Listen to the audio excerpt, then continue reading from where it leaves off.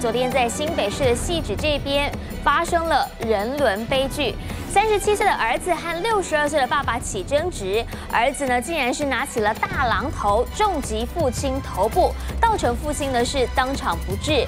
不过呢，这个儿子因为领有重大伤病卡，而这个家庭本来就是高风险家庭，到底是什么样的原因导致这起人伦悲剧，还在调查。下手怎么那么狠呢？因为他会他的脑呗。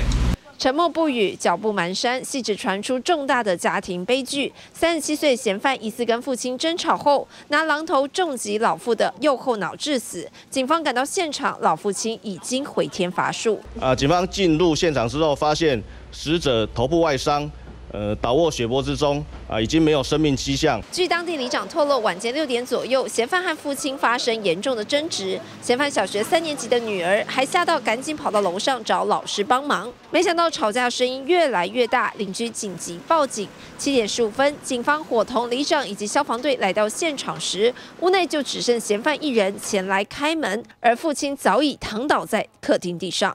他跟爸爸感情是没有说很好啦。常跟爸爸妈妈吵架，刚才是什么原因？嫌犯的四舅一听到消息，立刻赶到现场，而嫌犯弟弟也从南港赶来，陪同警方回警局调查。命案现场高度戒备，监视人员进进出出。据了解，嫌犯领有重大伤病卡，患有思觉失调症，也让这起子杀父的命案更添疑云。记者林线孙培俊，新北市采访报道。